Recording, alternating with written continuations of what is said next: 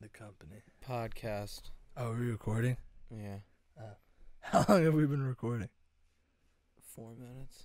Oh, really? Yeah, I'm gonna chop it all though. We could start like whenever. So All right. podcast. Podcast. Guys, it happened again. yeah, I woke up this morning and I felt great. I've never felt this good in my life. I actually woke up today and, and like I actually felt great because I stayed on the sidelines last night. I did It not. paid off. I went to Hoboken after drinking all day in Montclair State for the my college's homecoming, and now I feel terrific. Uh, I was up till three in the morning watching uh, Netflix with my buddy Mergem, and I continued to drink. You ever come home after a night of drinking, and then you're like, "Well, I'm fucked up." The next natural step is to go open another drink. Yeah, like crack open like a nice beer, white claw type thing. Yeah, this never works out. I woke up this morning and like then you see that same can that you half finished, and just the thought of the liquid in that can makes me violently like ill. I just got you know how SB's account is hacked. Yeah. I just got it. It's like, hey, I was wondering if you heard about the DHS program going on now. Did you see that like Ryan O'Toole put up like a post that was like, "Hey, she got hacked," like no one Yeah. respond, Yeah. and then the person responded to that fucking story. like, have you heard about the DHS Yeah. program? Jesus Uh, Christ. Yeah. Yeah, man. Fucking I did the opposite. I was I had to work yesterday. I was working a bar mitzvah. So I was uh getting down with my with my Jewish people yesterday. It was a fun time. And then you were asking me to go out, but I just I couldn't I couldn't give in. I couldn't let the devil win this week. Yeah. And I'm glad I didn't. Uh, I, yeah. I needed it. I slept like 11 and a half hours. Listen, I I love to party. Yeah. I fucking love to I party, huge- man. made a huge mistake. Oh shit. Yeah, dude. I Well, hey. my body. What a time, what a time to tell the people as we're live from the couch. Folks, we got some big news here at the Good Crack podcast. It's we're, crazy. It's so crazy. really it's really an honor to announce to all of you that Matt and I are joining the Manscaped family. We are actually a part of Actually. the Manscaped family. We're going to actually you know how we have all those other ads? Yeah. Well, guys, I don't mean to burst the bubble, and I'm not going to, but let's just no. say like those ads come from the the the etherverse. Those Yeah, yeah. Those We aren't necessarily. we created that. We created. We're the writers. We're the writers. But Manscaped, Yeah. now that's a real company. Yeah. they have a real product. and starting next week, we're going to be doing some real ads. Real official ads Yeah. for Manscaped. I don't know how the fuck this happened. Joey called me this week and said they reached out to us because they found Yep. the podcast. I was like, well, that's just not true. Like, we've been doing this for like two months. How did they, you know? But But it's real, folks. They reached real. out. They said, We love what you're doing. We love to get involved with you. And we're getting into bed with them. we are getting into bed with Manscaped. And we're going to save me. some balls, to We're gonna save some balls and we're gonna be hairless. And I got a lot of hair to spare. Yeah, so, you know, I guess I guess the best way to tie that up is um thank you to you guys. Yeah. You got you guys didn't do this, just so you know. Like None you you guys this. Yeah, you're all useless. But you do listen, you do share, you do post, you comment, like and you got to keep doing that, guys. Yeah. Subscribe to the podcast on Apple Yeah. Podcasts and uh, Spotify. Follow us on Yeah. Instagram. Yeah. It's good for the team, you know. Yeah. You know what the? You know how they say like you don't have an STD until you get tested. Yeah. It's like the same thing with this. Like just spread it. Yeah. Don't don't think about it. Just spread it. Spread the podcast. Spread the the love and joy of good crack He's absolutely right, folks. because it, it's gonna do great things for all of us. Not Yeah, just and not just the two of us, but all of you guys too. Joey and I, as we've told you from the beginning, we're smart people. We're smarter than you. We're smarter than your mom and your dad. We're smarter than everyone you know. Your entire family tree. We're funnier than them. We're just better people than you, and that's why we have a podcast and you listen to us. yeah. But all that being said, Joey and I did not, you know, start this journey. Just, just back up a tiny bit. Joey and don't have to I- twisting knobs. did not start this journey to, you know, get sponsors and make money and blah blah blah. Nah. We're just here spreading the crack. Just Yeah. Giving you guys the good crack. it almost feels as if because we approached it in that sense, that's why we're being rewarded. Like we we got into this and we're like, Like we were not expecting anything, any type of sponsorships, monetization, whatever. We're just like, dude, let's just fucking have a good time every week, talk some comedy, you know, have some laughs, But and you know what? It's that work- attitude got us. Yeah, it's Yes. working out and in a very quick amount of time, quicker than I'd ever expected. We have a real partnership with a real company, so we're Yeah. super excited to start this journey Yeah. with Manscaped. So uh, on an actual serious note, thank you guys. Yeah. Anyone who's showing support Thank means a you lot. guys. And uh, yeah, as the Manscaped campaign starts, we'll appreciate your support there as well. Yeah, thank you, thank you. Support Um, the show. But to go back to the podcast, Yeah, I I realized like we just were talking about how violently hungover I am and like how I feel like I'm gonna die. mm-hmm. I'm much better now, yeah, but like we didn't also explain that's why we're doing the podcast on the couch. yeah. That's why we're here, guys. Yeah, like he's he's on the couch because he's just deathly ill. I'm on the couch because I'm so refreshed that I'm like, hey, let's keep this party going. You know what? I guess we didn't really document because it was a guest episode, which was a great episode last week. But technically, was last week the first ever episode where we weren't hungover? I mean, yes and no. I, I say no only because that Saturday, though we didn't go out at night, we did we did the open mic at the pair in the city, and then we were drinking all day. Yeah, So true. I mean, I here I didn't wake up Sunday feeling like like good. I woke up feeling good, as in like I, I definitely felt like a hungover. normal. No, Oh, hungover. you felt hungover and stuff. No, like I'm saying, I didn't wake up feeling like great, and I don't mean the great that we like Oh, to like use. I mean great. actual great. But All right, I think you're right there. yeah, I mean, dude, we what we had a pitcher during the day before the Oh, wow. mic. I mean, we both told. I, I getting Yeah, up to that was mic, I felt honestly- half drunk. I feel like yeah, well, I was eat. fucking drunk when I got up there. Um, I think that day just sucked the life out of us, and um, it was like it wasn't like a true and tried hungover. It was yeah, just like we were so tired that when the next day we had like residual tiredness. yeah, yeah. But That- that, was that a great counts. podcast. I was really excited to have Brett on as our first guest. Uh, Yeah. I think he was hilarious. I think he's a great guy. I really liked having a guest, Yeah, and I'm sure you guys did too. Because as we said, we're better than you, and uh, we're gonna continue to bring on guests. he actually was. He was featured in a, a Vox article a few days after the podcast. They were doing an article on like how our generation is investing in a lot of different asset classes, and they actually cited him and like Brett Coin, and they said like first publicly traded comedian. Really cool. So he he's getting some nice traction with his thing. So glad that we could you know Yeah. be a part of it and hang out. Yeah, and then I think could we announce who our next guest is gonna be? Yeah, yeah, we could do that. Do we have him locked in for next He's Sunday lo- now? yeah, he's locked in. He had he had like family stuff to do today. A lot of October birthdays in his family. So Next uh, next Sunday we'll be having our second ever guest, and it's gonna be none other than Johnny Drinks, John Rondi Jr. yep, We're very excited yep. to have him. So Old friend of ours, yep, successful. not even con- old, not even old friend, just friend of ours. You know, Yeah, I saw Johnny for some dinner Friday. So yeah. Well, what do you mean? well, when you say like old friend of ours, sometimes I like think like oh, it's like our old friend. No, I mean like like we've been We've- friends with him all for quite some that's time. That's true. That's true. What did you think I meant? Like the age? No, I thought you meant like I don't know, like. Like yeah, he's not 55, guys. No, no, no. I think of like old friend as in like yeah, like we used to hang out years ago, and like we don't like see each other much now. He's just like an old friend. That's interesting. I don't that know. you like think of it that way. Yeah. Well, I maybe like I'm any- maybe I'm an idiot though. I don't know. What do you, Birdo? We got uh, we got Birdo on the set today. What do you think of when you hear the, the phrase "old friend"? Do you think that means someone that's been friends with you for a long time, or someone that you used to be Shit. friend with? I'm just an idiot. saying though. I see what you're saying. Like it's someone that you thought like. Or you used to be friends. Like I think of like people that I was like best friends with in elementary school, but we don't hang out anymore. It's like oh, that's that's an old friend of mine. You know. I feel like that's incorrect. But listen, who, who am I to judge about how people use Hey, terms? hey. hey, At the end of the day, we got Johnny drinks coming next week. yeah, sorry. Really exciting stuff. Yeah, we're gonna be We've- making some cocktails with him. We've gotten to see secondhand how he's just blown up over the last year and a half. Yeah. It's really cool. So what we're gonna do is I'm gonna get um my cock. And, Yeah. uh, then we're gonna get the tail of a of a cow. and we're gonna make We're gonna- cocktail sauce. We're gonna stab them together, nail them together, and make cocktails. I'm gonna nail a tail to my cock.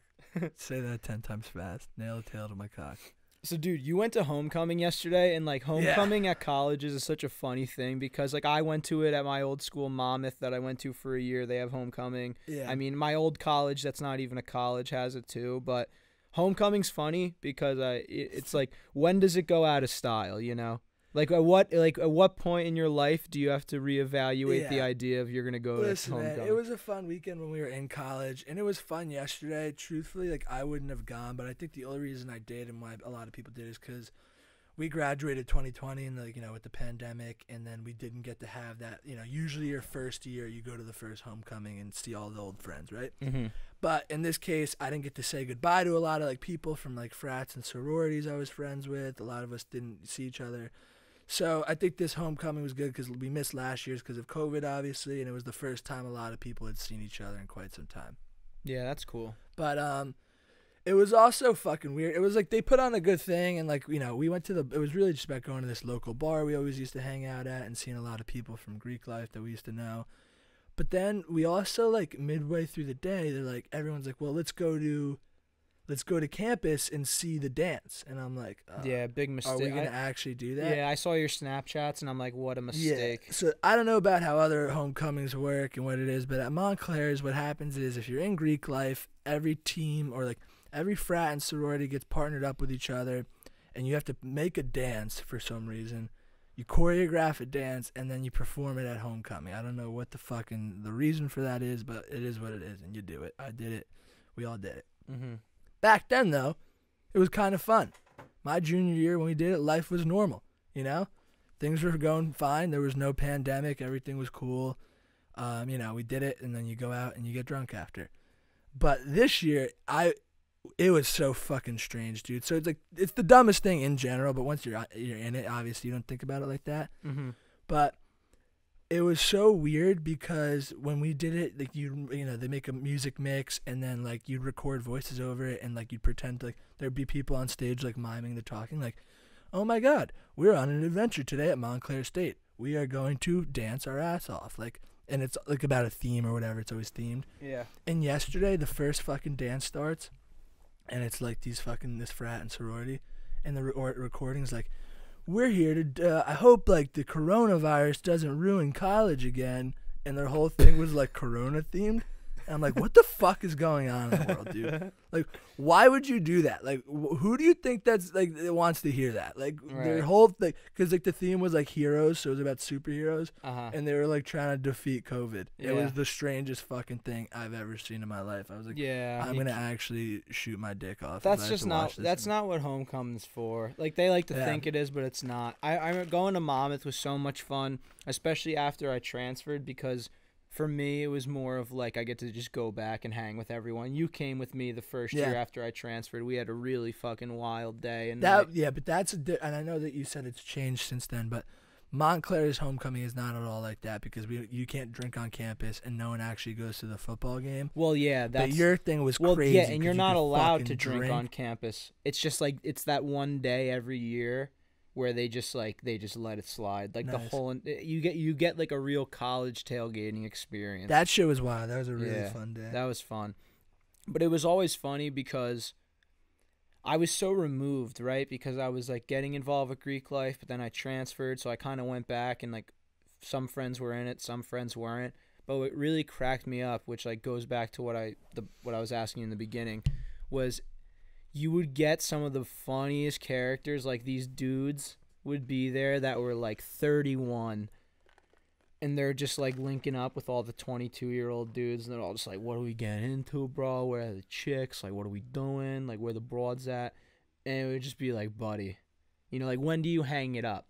Because like even if we went next year it's like we'll be 25 26 Yeah. like that's you know that's fair That's fair. Like and like, I felt 30 even a little weird going yesterday. I'm Yeah. like, man, like these kids are like in the prime of their life. I'm like an old fuck. Like, there's just a big disconnection man like you, you get out of college and school and you really get yeah, into the but world when you see like the 30 year old there, like, what's fucking going on? Right. Yeah, even like 28, 29, it's like, dude, I'm not going to a frat party Right. after this. Like, what are you doing? Like, and you- like not to mention they might be making like 60k a year at whatever job so they also go there feeling like the richest man in the world like at monmouth that was the thing they would go there bro yo it's all on me bro like i got this like they're like flexing and it's like well they they make a median salary it's just because we're all in college that we're, We're like broke. whoa He just he just got that two hundred you dollar feel tab. like- so I didn't really have. I mean, listen, I, we had some old brothers pop back sometimes, but the thing with us is, um, my chapter of my fraternity only started on my campus like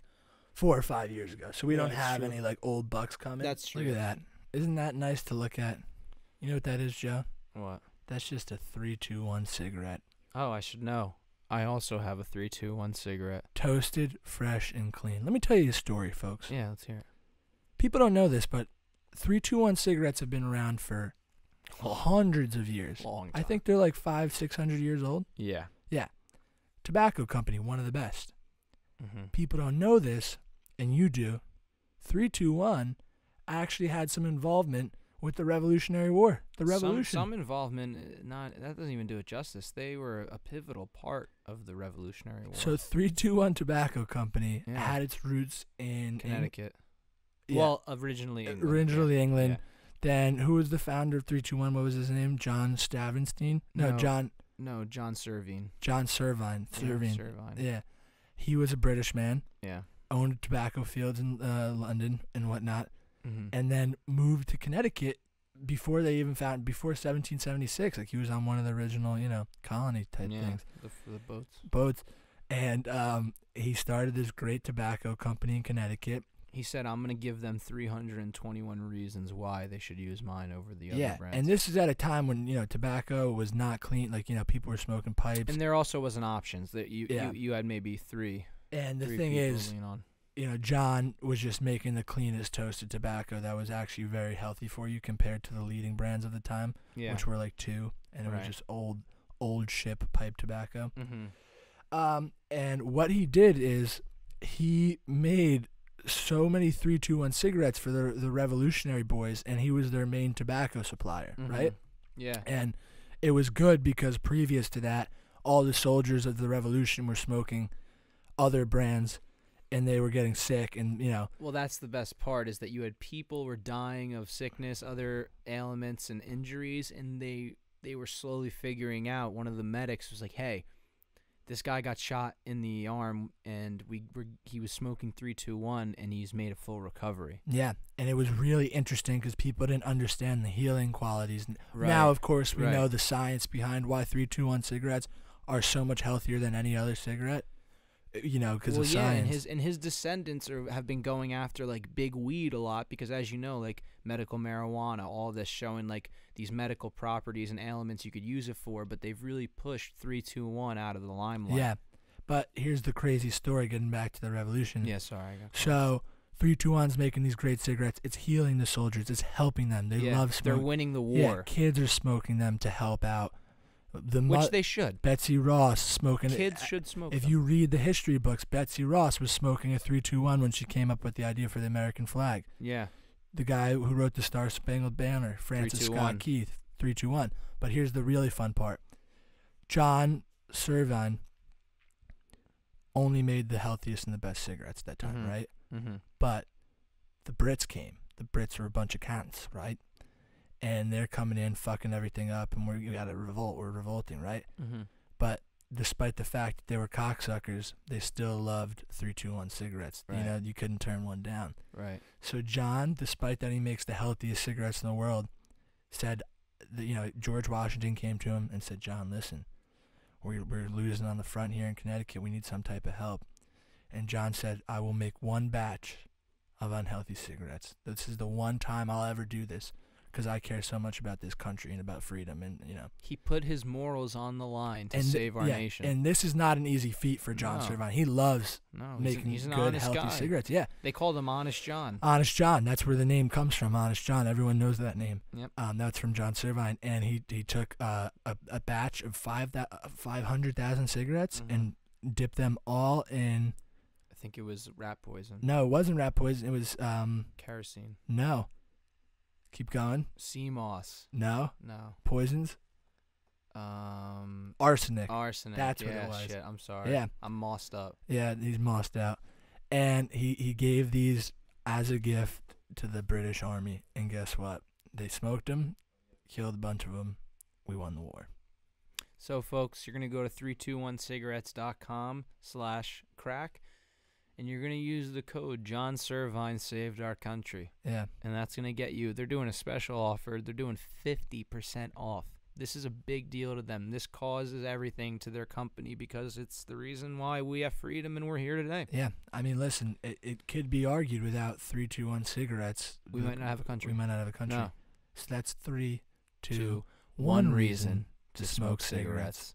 Thank you, folks. That's true. That's true. But I would see other frats that have been around for 20 years have guys be like, I used to fucking be here. Like, what's going on, dude? Yeah, dude. Like, if I ever did that, I, I want nothing to do with my fraternity in any sense anymore. Like, not that I have any bad blood with them. It's just Yeah. like, I did it in, when I was in college. I don't give a fuck anymore. Right. Right. They're a big national organization. They always reach out to me, and I'm like, fuck you guys. I'm not giving you any money. This yeah. is a pyramid scheme. They're like trying to get you to come back for a super senior year. Dude, well, that was the thing is like when I'd have to, because when I was president, I'd have to go to like all these big like events in Mhm. like Atlantic City or Yeah, yeah. Boston and like meet all these people from different chapters. And I won't name my frat, but we're a large, large national fraternity. I think it's like the second or the, maybe the largest fraternity in the world in terms of collegiate fraternities. Mm-hmm. So there'd be people from all over the country, all that, blah, blah, blah. And there's guys that are like 40 years old, 50 years old, and like they work for the fraternity, and that's like their full time job. Yeah. That that that is nuts. And I'm like, what That's the nuts. fuck are you doing? That's like equally as bad as the kids at like the ladder who are like, you know, art therapy majors or something stupid and like they stay at the college, like they stay at our other college and Uh, then they just work in the administration and like art therapy department and then it's just like you're just stuck in, In this loop, never ending loop, bubble and box, however whatever you want to call it. It's like what are you doing? Yeah, they're It's just like they don't want to let go. Yeah, they don't want to let go, and also like you must just be like worthless. Like you Right. might not have a brain. No, cell. that or mentally ill. No, definitely, I think mentally ill. That's Yeah. definitely the case Yeah. because you go there and it's like ac- some of them do have they the Go thing- go like go there. They okay, sorry. no, They you're good. They you're good. do have other jobs. They do have like other jobs, but like they also have to because like that's the thing is like, It's a big responsibility. Like stuff like that is a big enough responsibility where it's almost like, how do you have But another let job? me explain to you how weird this is, because it's like there's people that actually work for the fraternity, right. Like have like actual full posi- time yeah, yeah, salary yeah. positions. But right. these guys are Ambassadors. no. There's like so when you're on our in our fraternity, you know, there's like the five main positions, and that's called the EC, the Executive Council, right? And we have like a stupid fucking names for them, but it's like president, vice president, um, secretary, Yeah. treasurer, Like like any other like branch of ceremonies, yeah. governing. So there's the Supreme Executive Committee, which is the guys that lead the whole fraternity, but they're like 50 years old. And they like run everything and call the shots. And you have this 50 year old at a fucking conference hall in Atlantic City being like, listen, they said we couldn't do it, but I want to do 500 new chapters this year. I want, and everyone's like, yeah. And I'm like, what the fuck am I doing here? Yeah, that's you just, people are out of your fucking minds. You they, they talk about how great it is, and it's like, listen, dude, let me get real with you. The philanthropy we do is great, all that shit's great. Why people join a fraternity is to party for the four years of college and, bang. get the fuck out of there and bang, yeah. And I'm like, these people, I don't know. I just would feel never like- get involved past the college. I feel I mean? like shit like like what that guy is saying. I feel like stuff like that really only holds weight if you're like a big uh, fraternity at like Penn State or like fucking you know UCLA, Yeah. like these schools where like the fraternity like networks, the alumni networks are like so legitimate where like kids literally Yeah, and dude, listen, they that is easily true. transit. I think of like people at Penn State. Everyone I know at Penn State has like transitioned to like the working world, either through their fraternity, or just like you know like anyone else an internship they got. Yeah. But most of the time, always alumni. Listen, that is true. Like you can do that, but like, You're not gonna get that in Monmouth. though, yeah, exactly. You know. and like yeah it, i don't know i just don't like the idea of like you're a brother for life like shut the fuck up It's it's like you're joining Yeah. the cult. i've never i barely put it on my resume i was a president it's, bar- Right. it's like the footnote of my resume and i don't even say that i was in a fraternity i say like through a collegiate organization i did all this philanthropy which i did right. But it's like it's never gonna help me like i'm in the arts kind of i'm in you know Yeah, if it might hinder you if any like yeah not exactly That, not no, that I, it would in your I case, think it would like- hinder me Yeah. But that's the thing is like I've never been on an interview, and I'm sure it does happen where you meet a guy that happened to be in the same fraternity as you. But like I feel like back in like the '80s that was cool, but like I don't give a fuck. If I met a kid that was in the same frat as me now, I'd be like, Sick. Cool. dude. Like cool. Yeah. it- One little thing that connects you. all that uh, means is that you were another jerk off that needed something to do on the weekends in Yeah. college. You know what Yeah. I mean? I don't know. Greek life is weird, dude. Did I ever tell you about when I when I was president and I had to go to this big meeting in Boston with every chapter, and I forget what it's called, but like it's a meeting they do like twice a year that everyone has to go to, like the supreme, like your your executive Uh-huh. committee.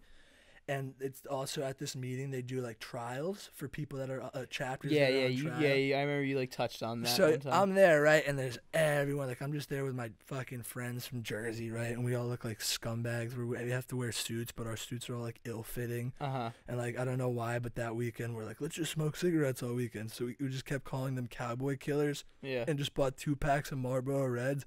And during the coffee breaks, everyone's like eating lunch and whatever. We're just out front on a smoke-free campus, just ripping darts like assholes.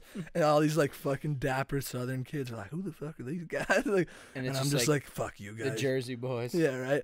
Everyone loved us though too. It's- Yeah. I'm sorry. I'm No, you're again. good. You're good. So yeah, it was hilarious. We were like in an Airbnb with like ten other chapters. For like there was a huge house from uh, the East Coast, Yeah. and at one point I'm just fucked up in our bedroom, and I don't know why. But I was sitting on the bed like a guru, and every like f- fifty kids were just standing around me, listening to me rant about God knows what. Stevie J, my buddy, was like, "Dude, you were literally like a cult leader. Like I don't know why they were all so like, interested in hearing what you had to say." Dude, we both have that in us because it makes me think back to even like it makes you think back to in middle school when we did theater when we did Grease. You remember like no, it was Guys and Dolls because you were in sixth grade. Yeah. And do you remember at like the rap party? Like I'll never forget it. It was just me and you sitting at a table, and we had like. 15 kids sitting there just listening to us tell fake stories Yeah, like we, we, would, literally like fake like noir stories and yeah, just people shit. would call them the mafia stories. and Yeah. they would like request that me and Joey do it. yeah it would. What, I don't even remember what we did. i don't remember them at all but I think it was just us. i just remember like that yeah, dude. People like to hear us speak. yeah That's why we're getting why paid now. podcast. You fucking idiot. um, but I'm sorry. Let me continue the story. That was hilarious. Yeah. All these jerk offs.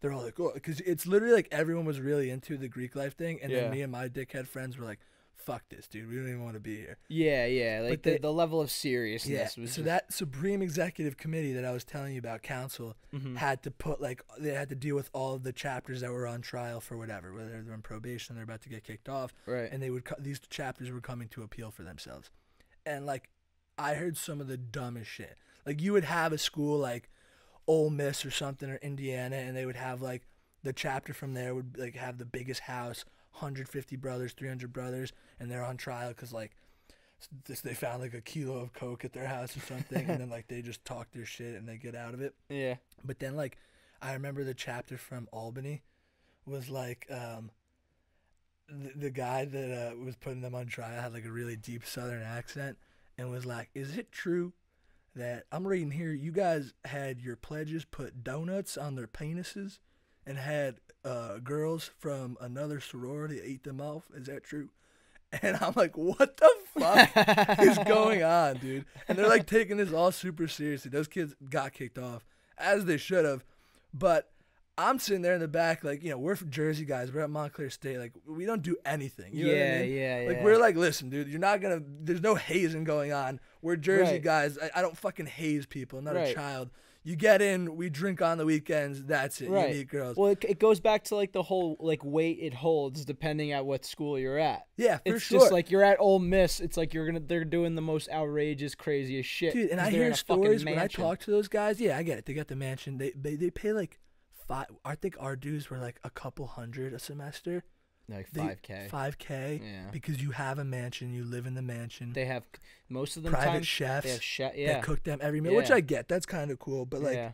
it's crazy too. I remember when I was living in London, I had a buddy in my program uh, named Pat, and he was like the president of a frat as at like Ole Miss or one of the big Southern schools or some shit like that. Mm-hmm.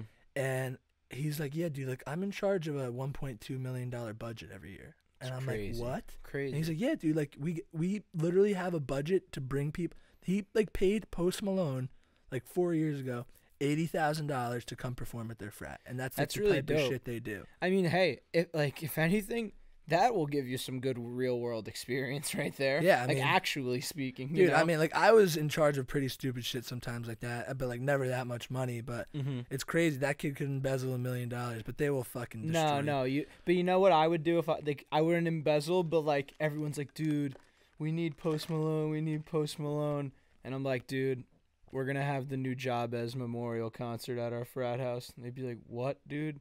You know. Yeah, I heard if you. I was wondering if you heard about DHS. The- Uh, hey, the- SB, we're pulling for you over SB, here. we're big fans of your comedy. Sorry Yeah. you got hacked. Um, yeah, dude. I, going back to what you were just saying, totally get that.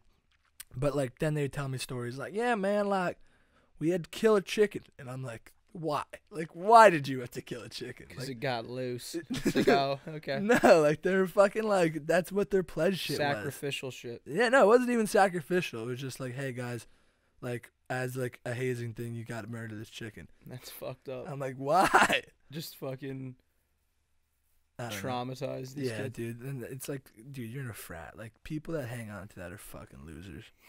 Well, dude, you fucking ripped. So you ripped the homecoming, and then you. I was talking to you, and you're like, "Yo, how? Uh, what's the chances you go to Hoboken?" And I told you zero. You got back with a quick zero. I was just like, "Oh, dude, not a shot." Like at most, I would have went to like Maggie's for a few pints, but I was like, "No way."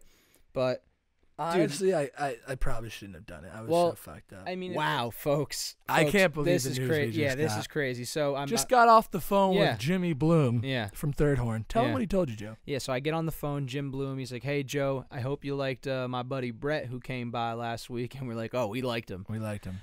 Jim has more great news. I mean, last last week they announced their Brett Coin offering on the platform, their new asset class. This week, it's like they just want to keep shooting for the moon. Third Horn Investments. And uh, folks, I- there's folks, no, there's no string, there's no deal- strings attached. I'm gonna say what I'm gonna say, but you're gonna be say, "What's the catch?" There's zero There's catch. no catch. Prefacing that, three, two, one cigarettes is giving. No, no, not through two or one sorry, Third Third Horn. Horn Invest- Inve- I'm sorry, I'm mossed up. Sorry, we're mossed out. Yeah, see CMOS. No, yeah. So Jim Bloom at Third Horn Investments, they are offering for free, no strings attached, no catch, fifty thousand dollars to all of their new customers if you sign up using the code GoodCrack. Yes, folks, you don't even have to invest a dollar. You don't even have to load your account. You make an account, you sign up, and you got fifty grand. Let me make this perfectly clear.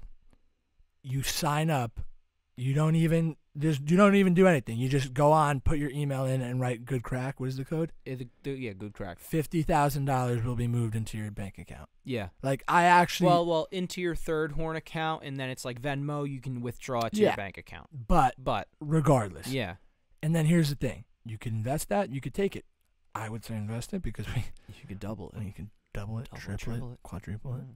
quintuple Quintuple. it. It's Jim Bloom, guys. He, Yeah. The guy doesn't like- fucking miss. And especially now with the Bitcoin offering, it's like yeah.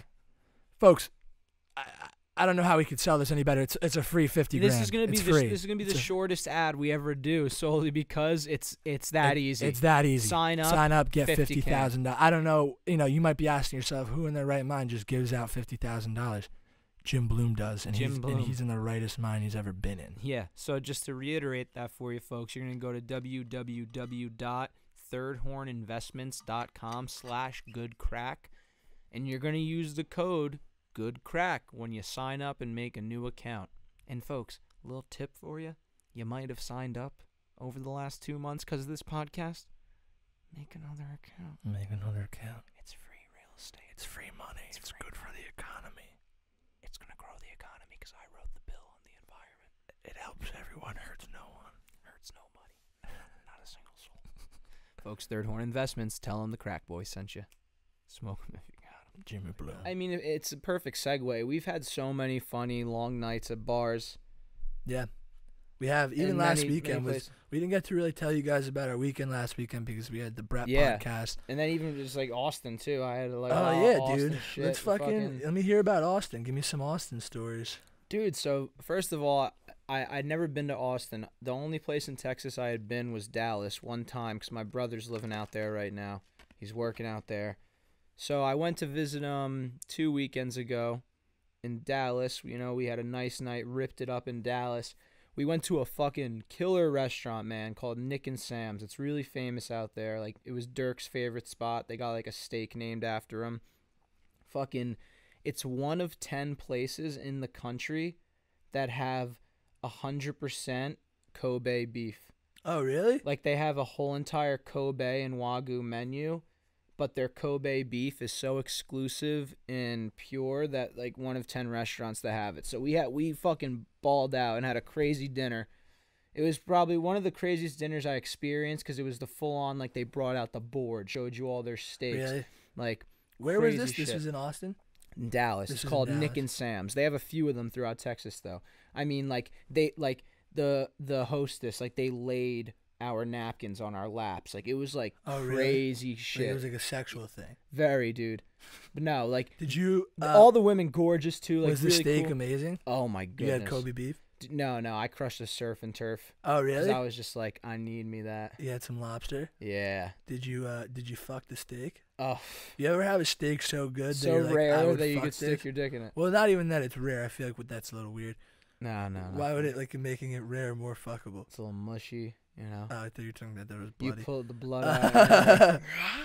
nah, it just tastes so good that you want to put your dick inside. Yeah, It. and that was only night one, dude. We did that, and so next day, we played some golf, and that was just like that was great. Oh, you didn't tell me that. How was that? How's your we both we both played. So the way it works is, I guess, I don't know. Some places, if you like make a, a two person reservation, they'll just let you play a twosome. Other places, it's like it always has to be a foursome, so they'll match you with two others. They matched us with two guys, uh, Jamie and Adam. Really cool dudes. I mean, straight Texans from Texas. And so that was funny because we were playing so awful, like awfully, and these kids were like balling. So like me and Ange were just kind of like in our cart, cracking up. You know, like we just kept ordering beers. Like it was like 11 a.m. We're just like, fuck it, let's have a good time. And Yeah. then afterwards, linked up with his buddy, and we hit Austin. And that was really crazy, man, because I've never been to Austin, but I've also like I've never really seen Texas. I've seen Dallas, and like that's a city, right? So driving from Dallas to Austin on a Friday afternoon at five o'clock, it was like a three and a half hour ride. We ripped Greenlights audiobook the whole ride. How, you probably could like finish half of it. In that Dude, we finished a good amount. Yeah. and we went through just like straight Texas. Like we went through Waco. You forget how fucking big Texas is. Not even how big, bro. We did not go over a single hill, bump, or like It's just all flat. all flat. Isn't it like you could fit like 40 New Jerseys in Texas? Yeah, and you can you can fit like 80 Rhode Islands. Yeah, something like that. Dude, so driving the drive to Austin was in itself this like cool little experience at least for me traveling because dude, driving through Waco, man, you just see a town in ruin, you know? Yeah. Like it's dead. Anything that was there dead, it's just fucking dead. We were driving through like some of the suburban neighborhoods, like not good. Really? Just like well, at least where we were. I don't know. I don't know what I guess the, the, whole only like frame of reference I have for that is like the fucking uh cult. there will be blood. no. Well, there oh, will be. you're blood. talking about Waco in general. yeah, I'm talking Waco oh right yeah, now. you're talking. oh yeah, the not just People's all church Tex- with David Koresh. Yeah, David Koresh. Yeah, Yeah. yeah. So, dude, it was really crazy. And so we get to Austin, and we got an Airbnb like six minutes from Rainy Street, like the downtown, and we, you know, uh, we, we drop our shit off. We had some chickens in the backyard next to us. We greeted them. We didn't kill them, and then we were off to the Wait, races. what do you mean you had chickens? Next door to us, there was like twelve chickens and a hen and rooster. what were they doing? They were just bawling out. Why were they there? I guess the property next to us was like a giant estate. Like it was like the house was like 50 yards away, but we were next to like their backyard and it was craziness. They just had chickens. Yeah, you could see Austin right there too. Yeah. Really cool. I, I always like get confused about the layout of Austin because I know it's like a kind of a transition, like seamless transition from suburbs into city. Yeah, right? no, no, very, very. Our house was 6 minutes from the city, but it was totally suburbs. In Wow. the suburbs, uh you've been to LA. Yeah. Did you ever did you drive like on Mulholland Drive at all like from the like I'm sure I did, dude. That was a long time ago, and I don't really remember. The neighborhoods of Austin reminded me a lot of like the valley. Like when you go over the hill and then you're driving down Mulholland Drive into the valley, it it reminded me that a lot of that because houses close together, but the houses it'll be like a Victorian house an old style house, fully modern house, and just like Yeah, I get the what you're saying. just the whole layout, very windy roads, and so whatever. that just reminded me of that. But we hit Rainy Street, and Rainy Street is a big uh, spot, just lined with bars and shit. And we were going out for one drink. It turned into a night out, of course, as it does. And it was fun, man.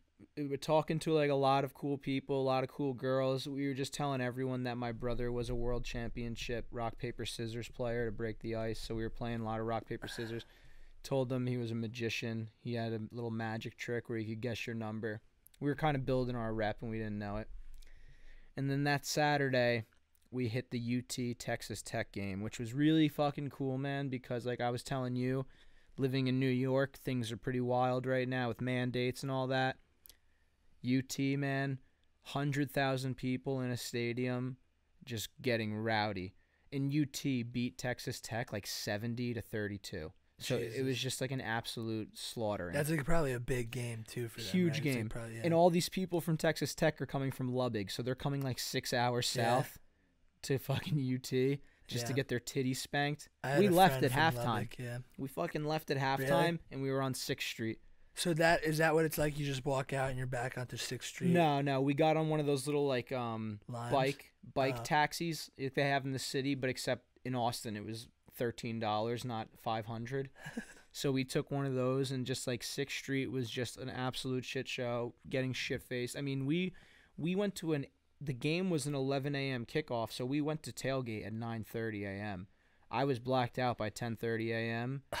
And we just had stamina, dude. We finished Dude, on just six. even talking about that Bro. right now makes me feel ill. We Dude, left I just can't Street day five drink. o'clock. Remember when day drinking was the best? I, I still think it's the best. I like it if I know. I don't know. I, you just need to you just need to you got to have a very motivated group of people because with us they like it was me and my brother and his friend and we met up with their friends but uh, ultimately it was us three we got home at 5 from that whole debauchery we ate sandwiches we laid down for 20 minutes and then they were like we're back Yeah, and, man. we just were there's we nothing like a good rally if you just pace it out perfectly Yeah. with food and chilling and whatnot. that's really what it was I just I haven't been doing it right in the last like year or two, and I like uh, anytime I day drink and then try to go out at night, especially down the shore, I'm always Yeah. just like miserable. I'm with you, dude. The only thing, the only reason I was there is because I got my brother, I got his boy. It's like, Yeah. how could I not? No, Any other course, snenario yeah. though, I'm like, fuck you like guys. yesterday I'm was like a blunts. huge learning lesson for me, where it's like I can't drink all day violently and then try to go out at night. Yeah, you just got to just, you got to like just crush claws or like beers and shit all day. Yeah. Once you, once you throw the licky in there. I, I was just doing claws beer, yeah, well, vodka sodas, but But the fun, so now the funny part is that night we get back out, we're zombies. It's like we shouldn't even be out. All my brother's friends that we met up with, they were all done by 7 p.m. We were going back to Rainy Street. And so that was and now when, what is Rainy Street? Like Rainy Street and Sixth Street are like the two big party streets. Yeah, Sixth Street is probably like 15 minutes, uh, I guess north of Rainy. Rainy's closer to like the bridge into the suburbs, but this is all like honestly closer than 15 minutes. It's literally like six minute drive. Yeah.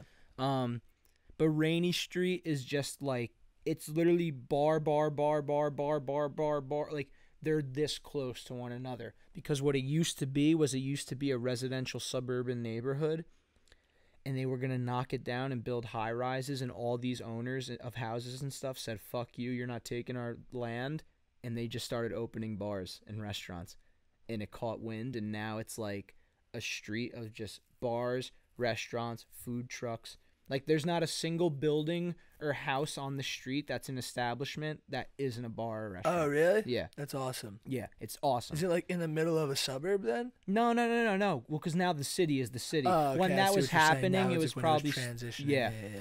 And so now we're out, we're hanging out, mingling with people, and I guess the night before we really cemented who we were because I'm sitting at I'm sitting with my brother's friend Joe. My brother ran, or yeah, my brother ran to the bathroom, and this I start talking to this chick. She's beautiful, man, like Southern Belle, beautiful, and she's very cool. Like we're just chopping it up, and all of a sudden her friend comes up behind her, and she looks at me, and she's like, "What?" wait, what the fu- don't fucking talk to him. And I'm like, what? I'm like, what the fuck's your problem? She's like, she's like, uh, like Alexa, that's the magicians. That those are the magicians, Alexa. And we're like, what? And she's like, yeah, that's the fucking magicians, the rock paper scissors guys. And they're like, fuck those guys. And they all start pulling her away. And we're like, we're like, we've been there for like three hours. We're like, we literally just got here. What are you talking? They're like, yeah, fuck the magicians. Like, Why were they mad at you? Dude, that's guys? what we said. We didn't like everyone that we had met the night before was like thought it was so fun and funny, just like the way we were going about shit. Like we were laughing with so many people, so we're like, I guess we got um, I guess we got like a bad rep somehow for just dropping magic on people. What was you, it? Was like the, what was the whole magician narrative? I- It's all my brothers. It was just like he would tell them to pick a number.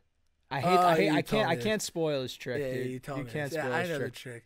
Yeah, you could guess any number. But he was able to guess their number after doing a bunch of crazy shit, and you know, people were blown away. But they were they were trying to run the magicians out of there, and the night basically ended where it was us at midnight after being out since 9 a.m. Phones dead. We couldn't get a there was no we couldn't get an Uber. We were trying to get on the scooters, couldn't get on the scooters. Phones dead. The best part now is we start going up to people and we're like, "Hey, our Uber was gonna cost us like sixteen dollars max, like fifteen max. We're like, hey, we have forty dollars. Like, can you guys call us an Uber and we'll just give you this cash? And everyone's like, fuck off, no. And we're like, what? What the? That's so weird. I I'm like, the one time I'm Southerners are supposed to be nice. the one time I'm leaning on Southern hospitality. We go up to another group of people. We're like, guys, can you fucking get us these scooters? We will give you the 40 cash right here, right now. No, fuck you. We're like, what the fuck? so we're standing in the street and we're like, what the fuck do we do? Like, I don't even know how to walk back to our house. All of a sudden, a yellow cab turns the corner. And dude, this guy was such a fucking character. And he's like, get the fuck in, man. Dude, And he was trying to drive us to the Even strip in club. Texas, we do. We've just been doing advertisements for like Yellow cabs. cabs, yeah. Yellow fuck, cabs fuck. Ubers, man. Dude, ever since we've been talking about that, anytime I'm in Manhattan, I take yellow cabs. I never Uber anymore. Yeah, That's not. I'm sure you Uber sometimes. yeah. So this guy's trying to get us to go to the strip club, and we're like, "Listen, buddy, any other day we would be down, but we, I don't even know how we made it this far." And then that was it. Woke up the next morning, drive back to Dallas. We stopped at a Mickey D's in the re- middle of Texas, and just buried like sixty dollars worth of Mickey D's. It was Nuggets. gross. No. They we were it was breakfast time. We got there 10 minutes before breakfast was ending, so we did like a $30 order of just chicken biscuits and all that. And then the screens go black and then it just throws on lunch and dinner and we're like, "Oh, so we get like 20 piece McNuggets, some burgers." we were just dude. in shambles. But yeah, all in all, great time. Yeah, man. Tekka. And then we had a great weekend last weekend. It was a Yep. long and exhausting one. What did we do? Friday we went in to Friday we were with Berto. we We, were with hit Berto hit and the some gem. the homies. Yeah, hit the gem, which And is then, a uh, great bar. in one and one. One and Is that one. one and one? Is that what it's called? Yeah, that place was kind of fun. It was fun. It was just way too packed. Yeah, and then we called it an like early night sardines. actually, just 'cause I think everyone was ready to go. And then me and Joey D, you guys were going back to Murray Hill, right? We But went down to off the Yeah, wagon. Joey D and I were just aimlessly walking around the village. But that's where I wanted to. The craziest part is that the place that I was going in my head was off the wagon, and like we walk, and you're like, "Oh, what about this place?" And I'm like, "Oh, wait, holy shit, yeah, we're here. This is it." so we went and had a pint of Guinness, talked some shit, um, and then got Mickey D's after, which I regretted immediately. And then I slept at your house, right? That was yeah. I stayed over because we were supposed We to were do the supposed to be with podcast Brett but he had just changed it to Sunday. So then instead, we you know we woke up on Saturday, went into Manhattan, and did an open mic at the Grisly Pear, which was a lot of fun. Great mic, great comedians. We were just there for way too long. Yeah, it was a real. Yeah, we dude. were drinking too, and I, by the end of it, was so exhausting. and we hadn't eaten anything. I we know. thought we were gonna pop in, do a mic, and then pop out and eat. Yeah. It was like two and a half hours later. Well, what it was is it was a lot of comics. way longer mic because there was a lot of comics, and There's like after we did our 27 of them. set, and we were like 15, so like we obviously had to wait a while to get up. But then one of our comic friends, Joe, he was going up too, and he ended up being like the fucking last person. So we waited till he went up, and we're like, Jesus, we've been here for like two and a half hours. This is a long one. But Well, then- we got to get him on soon. Too. Yeah, great kid. And then where'd we go after that? That burger restaurant was fucking amazing. Paul's the burger joint. Paul's the burger joint was East Village. amazing. great, great. yeah. Before great that, we place. went to Washington Square Park and we're drinking coffees and having bagels just enjoying the characters. in that morning. And I was like, man, like I was looking around Washington Square Park and it's across the street from NYU and you have all these characters and hipsters and shit. And I'm like, all these people fucking suck. I wouldn't mind if all of them didn't exist. You Like, feel? I, I I love it. Like I, I it's fun I to look, watch. I look at that and I say like I think and I think Washington Square Park defines what New York is the best. And then whether you like that or not yeah, is totally yeah, opinionated. That's what it is. Is like I don't know. There's a lot of a lot of crazies. yeah, I, I I I like that. nah, shit. listen, it's it's fun to watch for Yeah. sure. Don't get me wrong. I would never just be like one of those jerk offs that goes there to hang out though. Eh, I it know. depends. It What really depends. I I guess have a- I'm I you, you don't smoke pot. I like- Yeah. so like for me it's like I'll be in the area and it's like dude, let's go like hang in the grass, smoke a joint or two, like yeah, enjoy the scenery. yeah. I don't But know. like some days they'll have events there for the whole park and like that's like I remember they had um they had this big big like how do you say it? is like Hare Krishna? yeah, Is that what it's like the Buddhist like the shit? Buddhist thing. Yeah. they had it was it was park wide. So the whole entire fountain area they had different tents all around. That was a day man where i was just like like i was so overwhelmed. I was like holy shit.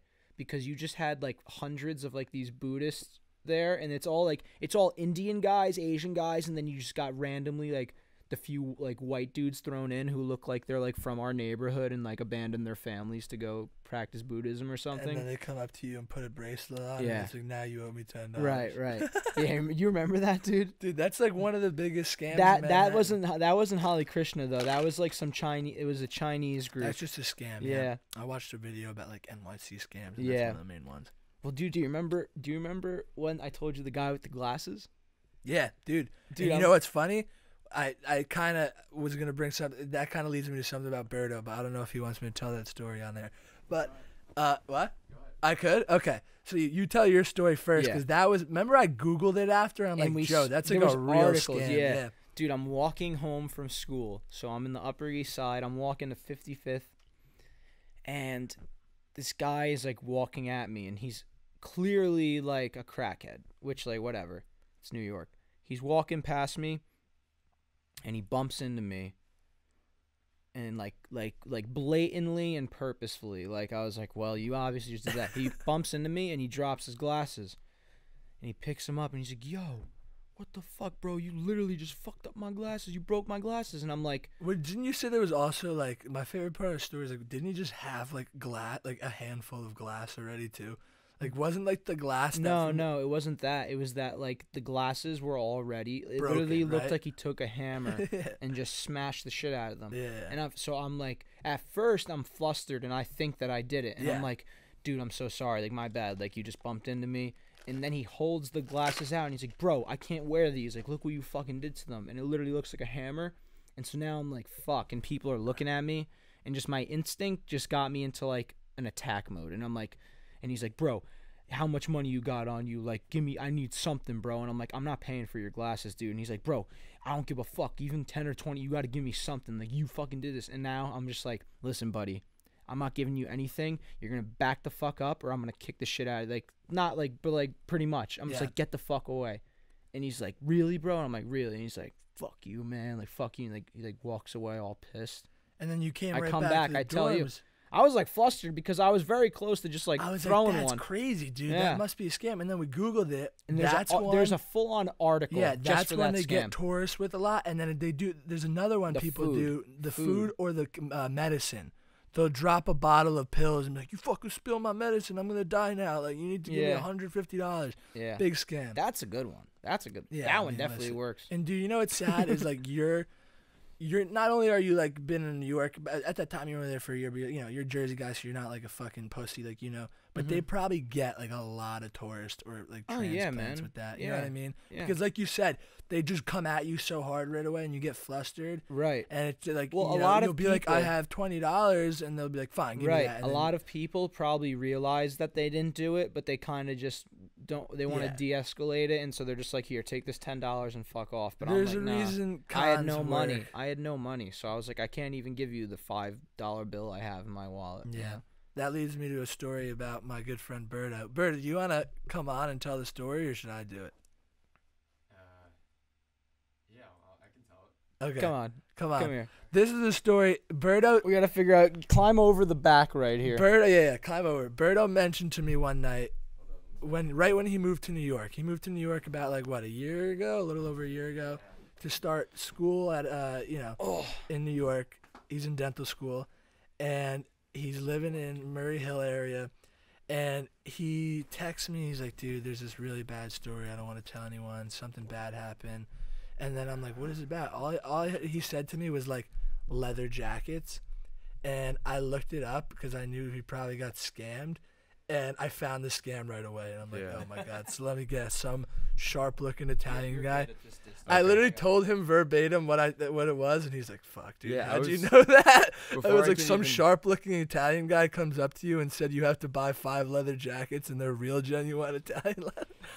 and he's like, "Yeah, that's exactly." I gotta what give happened." context though. Yeah, yeah, like- you you give us the full story from your perspective Yeah. because these cons, you know, they're different from person. Yeah, I mean, just like you said to Joey, like, I feel like I'm, you know, I'm from Jersey. Like, my dad's raised me never to be like a sucker or anything like that. Yeah, and you know what? Everything. You're a smart kid, and I don't think you'd fall for like the glasses or pill bottle one, like I Nah, just said. no. But the one that you're about to explain is a weird scam that I've Yeah. never heard of before. Well, I guess it started. Um, it was. It actually happened. It was near your block, right? It was on my block. It was. Wow. It was Halloween of last year, on October 31st, and this is coming up on a year since it happened. Yeah.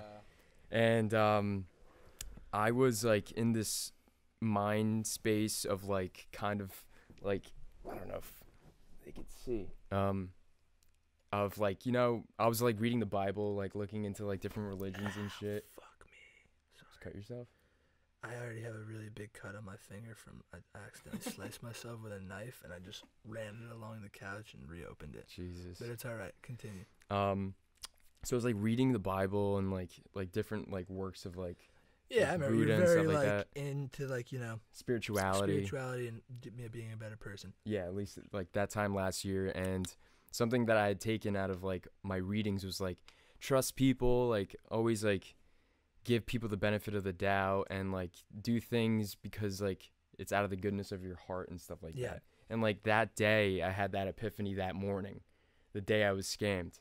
So I was like, Fucking guy. so I was yeah, I was going about my day like like eyes shining, like hopeful for the future and stuff. And Happy to be alive. I'm walking down my street on 27th, right by the gym, Yeah, yeah. and um, and I'm I'm walking, and this guy he like pulls up in a car. It's like a really nice car. It's I forget what it was. I think it was a Benz.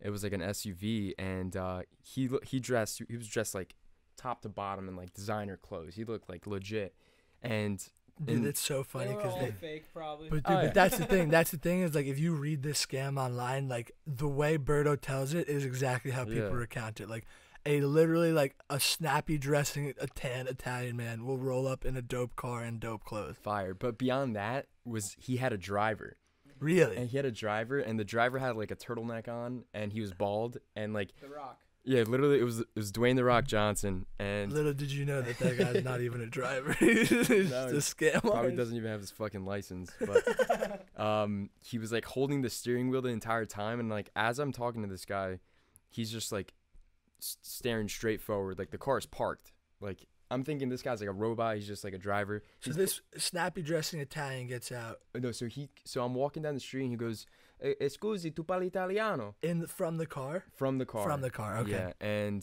so i sp- i speak a little bit of italian i get by conversationally Yeah. And you Um, like Italian, so this is already a hard one for you. Exactly. So I'm like, you I'm excited. Like I, I, have, I don't really speak Italian with a lot Yeah. of people, so I'm like, yeah, yeah, I speak Italian, and he starts telling me, um, in Italian that he's like, um, like he he needs help. Like he just got out of it was Fashion Week, I think that week, and he's like, I just left a showing, and I have all this clothes, and like I'm leaving to Italy soon, and uh, like I don't want to, I don't want to hold on to it, and because I will have to pay taxes on yeah, it. yeah. And I'm like, oh, that sucks. Like, I'll, I'll take it off your hands. Just give it to me. and he's like, no, no, just give me. And mind you, like, as I'm telling the story, like, I, I beat Well, he's telling you up. what he's got like leather jackets, Yeah. right? And he's showing you them, and they look like legit. And, yeah, yeah. and he's saying like these are what dope leather designer he's- jackets. He says they're like San Ferragamo uh, okay, jackets. yeah, Ferragamos are nice. Yeah, and uh, like I'm, I'm, I beat myself up even telling this story because it sounds so fucking stupid. But Um, So he says, "You buy the jackets, I'll give you a good deal. You'll make your money back." exactly. Yeah. like they still got the tags on them. Just go to the store and return them, and or like just sell them. I'm like, I guess like, and he like gives me a number and I give him a number and um, and like part of me is just like, you know what, like, I'm gonna help this guy out. Like this is kind of like Did you ever think during the process like this might be a scam? I was like looking at him in his fucking eyes, man. I was trying to get a read off of him. Was he good? Is that he was what really it was? good. Okay. He was really good, and he was telling me about like his son in Italy, and like he was like, yeah, my son in Italy, Italy's like your age. And I'm like, I'm think I'm trying to piece together the fucking. what what age would you say he was? He was like a fifty year old. He's in his fifties. Yeah. What a piece of shit. What a dude. fucking dirtbag. You Those know? wops, dude. yeah. Oh, those Those motherfuckers. Guy, I Fuckers. guarantee the guy wasn't even Italian. no, so the probably Armenian. the Guaranteed. the funny like thing- East, Eastern European. yeah the Oh yes, I'm Italian. You see, like, you I mean? some jerk off. the the conversation slowly evolved to speak in English, Mhm. and I'm like, why'd you start off in in Italian? Well, he was speaking perfect English. He's English. speaking perfect English. Did he have an accent? Yeah, he had an accent, but What he was speaking perfect dude. English. It's probably some jerk off from like Juilliard testing his acting ability. Yeah. So I He has fucking to pay his bills. Yeah. Yeah. So he starts talking English. So did, you, did that ring a red flag? it rang a red red flag, but I was still like, fuck it, like you know what, this guy's asking for help, and I'm gonna help him. And I go to the ATM and I pull out cash to pay for these jackets. He ends up, I end up offering to pay. It was a shit ton of jackets, like How many? I think it was like seven, eight jackets, and then Do you like still have them? a backpack. No, I, I gave most of them away, uh, I I, don't, liked one. I don't have. I, I might. I, I'm just kidding. I still might have one. Were they nice fakes? They were nice fakes. Oh, dude, it gets so so much more embarrassing. Okay. Um, Yeah, cause didn't you say like he showed you that they were real? Like, didn't he say he liked the like? yeah, he did the lighting. He did the the flame test to the leather. What did he do? He like he put it. He like lit a match or like lit one of those lighters and like he put it to the leather and he's like, see, see, good the real. leather. It's, it's real. It's real. I'm like, I don't fucking know. So you go to the ATM and pull out uh, what a couple hundred or something. No, no, not a couple hundred. I pull out seven hundred dollars Okay. and um, and I go and I go and give him the money. And as I'm giving him the money, like this is me like being like you know what, give people the benefit of the doubt and bullshit like that. Um, I grabbed his hand and I shook and I looked in his eyes, and I go, "You better not be fucking me." Oh, you said that. Yeah. And he like looked at me and he's like, "No, no, no, brother." And he hugged me. He gets in the car. This is now on Third Ave because I had to walk. I had to walk and find an ATM. Couldn't even give you a ride, that piece of shit. No, no. no. So the moment I knew I fucked up, the moment I knew I fucked up was when he got in the car to leave. The his driver that was just mute like this, just staring forward the entire time, like he looked like a like a Bond villain, like bald. Uh, he like turned to me and smiled, really? and I was like, "You motherfuckers!" That's drove off. hilarious, dude. So that the- guy was just a fucking scam artist. Too. Oh, yeah. That's funny. Yeah, they, they were both in on it. And when so you gave him seven hundred and they gave you the jackets? yeah, and I got the jacket. Was like at the back of a trunk, he gave you just shit ton of jackets. Yeah, yeah, yeah. And what you're just walking down the street now with seven leather jackets. so and when did you go home and be like, all right, fuck, these are all fake? Th- no, I was walking home and I knew I knew they were fake How? Because the guy smiled at me. Uh, uh, that was just the That was it. Yeah, for me, I was like, Yeah, I, I'm. We s- got you, motherfucker. I'm But a then did you like get home and look at the jackets and were they like blatantly fake or yeah, they looked good? yeah. And then I looked up exactly what you looked up, and that's why I was laughing when you told me like you knew exactly what it was because you probably saw the same thing that I saw. Yeah. And like, my my roommates were there, Eddie and John at the time, and they were like, "What the fuck is that?" And I was like, "Oh, these jackets," and I was telling people like, "Oh, they just gave it to me." Because I was too embarrassed to say that I got scammed, and I, I like I was scared because initially you told me you got robbed. Yeah, well, I mean, essentially, like Yeah. Like Yeah. I thought someone like fucking went up to you with a knife or a gun and was like, give me your money. it felt that way. It Yeah, I felt mean, like I was violated. Afterwards, it always feels like fuck, like I got violated. But Yeah. listen, man, it happens to the best of us, and that's a weird one. You know what I mean? Because Mhm. you know what's good about that scam is you think you're getting something out of it. You know Mhm. what I mean? Where the other one, it's just like relying on the person to just be a good person and be like, fuck, I feel bad I broke this person's glasses. But you also could be a bad person, like, well, I don't give a fuck, fuck you. Yeah. But in this way, it's like, oh, I'm getting something out of this. You know what I'm saying? yeah, yeah, yeah. So that's a good scam. Yeah, they got you. Yeah, they fucking got me, and I like went home and I just threw them in my closet and I didn't look at them until I was like, I know. I remember you were very hurt about it for a while. yeah, I, I wrote in my journal. I was like, um, today I got Happy Halloween. Today I got scammed. A sucker's born every minute. and then that day, like everything that I was like woke up feeling like great and optimistic just went right down the drain. It was like not You like just went full Bukowski. You're literally just like the Joker. Like Our greatest, double- our greatest men die in alleyways under newspapers, while our worst men get statues in the park. yeah, Dude, literally, seriously. Berto. Like this is like Berto's Joker moment. Yeah, it's when I realized society's fucked up, bro. Society. Right in your journal. But yeah, now that I've exposed myself as a today. fucking moron, I'll let you guys get back to Yeah. Well, thank you for the story, Berto. it happens to the best. It's of always nice to have a little guest drop in. We Ugh. love Berto. Oh man. Um, Dude, yeah. we're powering through. We're already at an hour. Oh, we are in an hour? Yeah. Well, then let's start wrapping up. So, yeah, New York City is crazy, guys. You can get scammed. You can go to the bars, meet some crazy The people. one thing we did, we wanted to like discuss like our our differences we see in like such as like an Austin, Hoboken, whatever scene, Yeah. New York scene.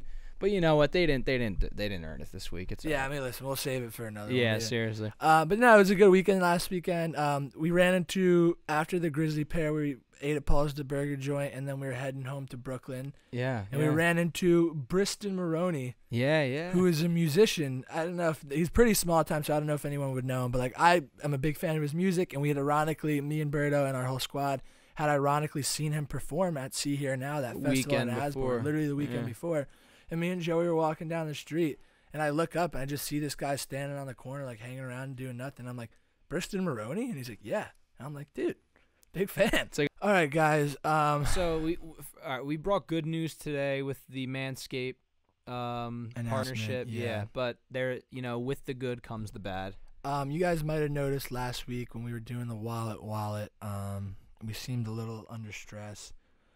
Um, and we we were, and Yeah. we can't say why, Um, but just I went back and watched, and I think you can see why. you can see why. Yeah. We've been on a journey with the wallet yeah, wallet. it's just been a it's been clearly weird. we thought originally getting into it, you know, it was a sponsor, and we said, "What is it? It's a wallet for your wallet." Quite Mhm. plain and simple, you know.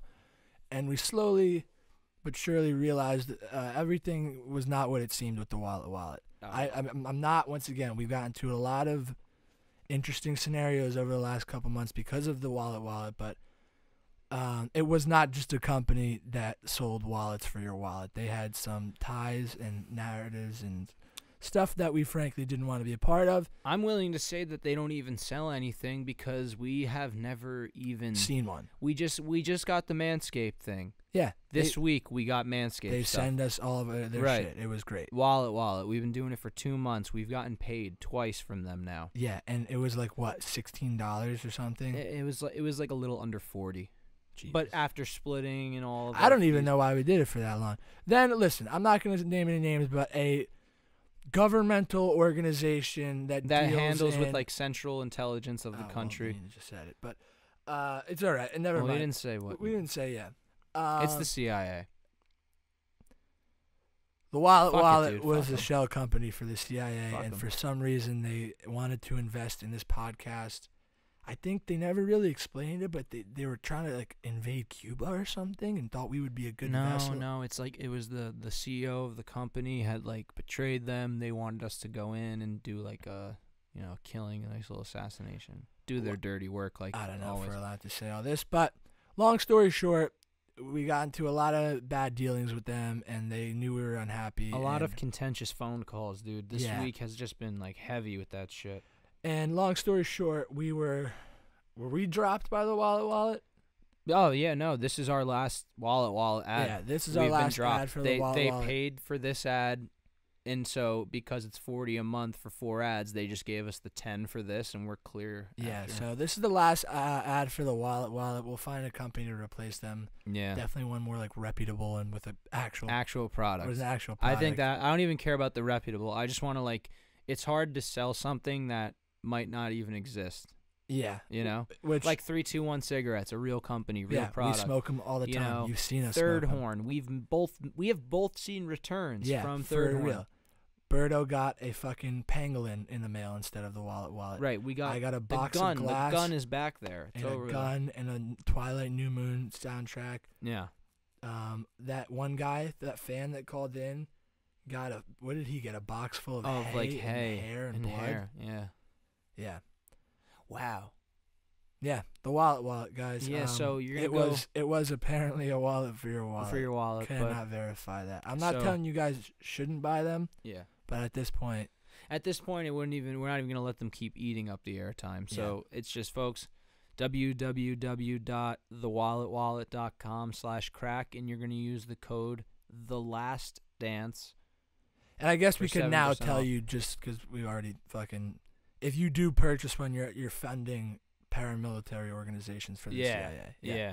so It's a CIA slush fund. So do with that as you please Yeah, the wallet wallet. well hey man one door closes another one opens Hell yeah, so hey folks wallet wallet wallet wallet. wallet for your wallet It's a wallet for your wallet. A larry david It was literally like a Larry David, moment, and I must, dude. Afterwards, like I was just like elated to meet him because like I think he's a great musician. Yeah, I, I think t- he's super I was talented. I was laughing because you were like talking to him, talking to him, and be like, "Oh, dude, what's your name, man?" And you're just like, "Yeah, no, dude, like it fucking reminds me I of like that one." me. I felt And like then he and then he, he asked you like twice, and you're just like, "Dude, fucking," and you're just like, "Hey." yeah, I sounded like a schoolgirl probably. I was just like, dude, I'm just such a big fan. Like I No, listen to your podcast. But you you said that to me, but then I told you like he was you I could like see it. He was so elated because like you were throwing out like this interview or like th- like you were not just some schmuck who's like, "Hey, Briston Maroney." You were just like, "Hey, man, like I, I am know. a fan." He was definitely But he I'm was into that. though. he was into like, that. I just once again I was so like in the moment, blah blah blah. But like I didn't tell him my name, and I we were talking because he just started a podcast, ironically, and we were listening to it on the way down to the festival. That's how I knew that. And I was like, "Yeah, we got a podcast too, man." He's like, "Oh, really? Like, they send me the link." And I was, like, "Yeah, I'll, like I'll message it to you on Instagram." And I'm like, "Fuck." He was probably small time enough that I could have been like, "Give me your number, and I'll text you the link, and Right. like come onto our podcast as Yeah, a guest yeah. or something." But then I DM'd him on Instagram right after, but it's like he's got like 30, 60,000 followers or something. So like yeah, he I probably just, just got sift through. lost. Yeah. You know, because I see it. on our account like messages go into like Requests, requests, general, general, and all that shit. So I don't know. Maybe I'll see it one day. He'll get it. Big fans of Briston Maroney on this podcast. Go listen to his music. He's great, like alt rock. And, yeah, uh, yeah. I enjoyed what you sent to me. That was um um Freaking out, Freaking on Out the the interstate, like, Interstate, his yeah. main song. yeah. Uh, hopefully we get him on the pod. You know? Yeah. we are sponsored by Manscaped now. Yeah, we could we could offer up some of that Manscaped money. What? Oh, Oh well, Well, we yeah, we won't. We, we actually have to start our advertising campaign with them Next like, week. Next week. Yeah. it's like a month long thing. yeah, But uh, yeah, we're excited. yeah, but um, well, it's funny that we saw him on Bowery, Briston, and that like we're gonna be going right near there today for some oh, uh, for for Korean, Korean barbecue. barbecue. dude, I'm so excited. Me and Joey did comedy on Wednesday. I think we crushed it. Like, oh, dude, I it's I felt oh so good. guys, the felt comedy so stuff. Like I, I, I can't stress this enough, and we probably have recounted this already. But like, I was at a wedding talking to a bartender who is the sweetest person on the planet. Yeah, shout out Genesis. Genesis. And now me and Joey D have like somewhat of like a career in comedy. I mean, not that we're making money, but like we're we're like comedians. I, it's so weird to call myself a comedian, but like we've been doing open mics for like two months. Like we get in front of people and we Yeah. do comedy, and that happened because I met this woman at a uh, wedding. You know what I mean? That was the push we needed, and like it wasn't just any random thing. She happened to work at this bar, the Bronx River Yacht Club, that has the comedy shop in the back. formerly the Lantern. For, formerly the Lantern. Everyone make sure to like say that. That Dude, must be like and we're slowly learning that like the comedy shop's like one of the better mics in the comedy scene and that happens to be the place that we just Absolutely. Fell into you know what i mean? Like yeah, it's so weird how all these things are working out. Yeah, it really is. yeah but st- like, that was what i was going to say. Wednesday night so much fucking talent there. Everyone was crushing. So many funny Yep. fucking people. Patty is a great host patty's too. a great host. We're gonna have him on soon. Really Yeah. great dude. Definitely. um and yeah it was just great. And then afterwards you went for korean barbecue and it At sounded amazing Oh, so- dude, so good. And, and what I love about this place is it's so like ethnic and cultured because their um their their discount policy for children is really dope. Like i saw this on your most story. most places like to do their discounts by age it'll be like kids 12 and under get 50% off with this spot they're like kids four four and a half feet and smaller get 50% off and like the first thing that in my head i'm like dude hasbullah would crush this spot on the regular because Dude, Hasbullah loves eating too. He would go there and just be like, "How tall is Hasbullah? Three foot? Have you Yeah. ever looked that up? he's not four and a half feet Definitely. and if he is he's not taller than four and a Nah, I think feet he's actually probably like two feet tall. Right? and he would just be in there grilling his meats like I, get my shun shimmer I dude, I love his videos yeah so much. he's Still, great You know, he's kind of fallen out of the mainstream, but I'm still a big fan. Well, that's what happens. You get thrusted in. He got the limelight, and now it's gonna be like the real fans that keep him alive. And I think he'll be good. Do you remember for like a hot minute when this podcast was strictly about his pool? Yeah, I Dude, mean, we recorded three tester. Bird was laughing because he knows that we the first three tester episodes had like all three of them had like 15 minute sections Yeah. strictly about Yeah. his pool. I mean, dude, I'm all for it. I can't wait till one day when we release those episodes. Oh, we're going to. It's gonna be funny. yeah, those are gonna be dude, great.